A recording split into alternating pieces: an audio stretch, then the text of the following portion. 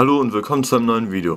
Heute zeige ich dir, wie du die neue YouTube-App für den 3DS ähm, zum, als Webbrowser missbrauchen kannst. Dazu muss man sich erstmal ausloggen bei YouTube. Dann kann man hier oben auf, die, auf Anmelden gehen. Nein, ich möchte nichts eingeben. Und dann hier unten auf Hilfe klicken. Das ist gerade eben noch in der Ecke drin.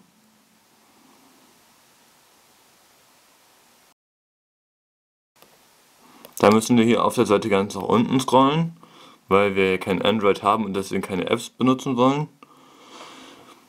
Und dann kann man hier unten über den Button auf Google zugreifen. Dann gebe ich einfach meinen Suchbegriff ein, zum Beispiel Flash k.de.vu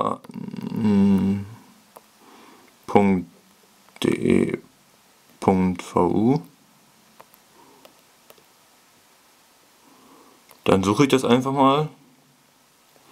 Ich befinde mich immer noch in der YouTube-App. Und damit hat man, soweit ich weiß, auch HTML5-Zugriff und sowas. Naja, und dann kann man hier schon direkt drauf gehen. Wenn man auf YouTube geht, wird man wieder direkt auf, das, auf die App geleitet. Also dann kommt man wieder in das YouTube-GUI. meine Website ist noch nicht so wirklich dafür angepasst.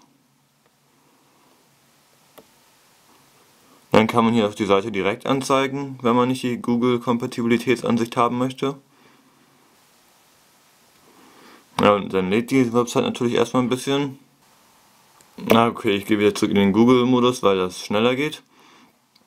Und dann kann man hier halt theoretisch drauf surfen. Fast ganz normal. Ich kann mir hier mein neuestes Review durchlesen. Oder auf andere Dateireiter gehen. Leider kann man nicht nach links oder nach rechts scrollen, sondern nur nach oben und nach unten.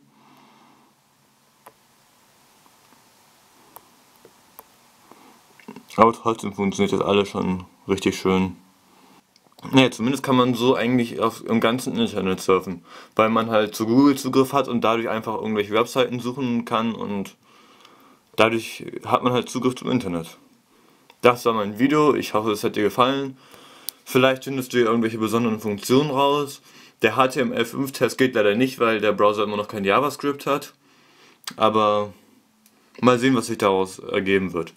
Und nochmal als zum Zeigen, es ist immer noch die YouTube-App. Dann bis zum nächsten Mal.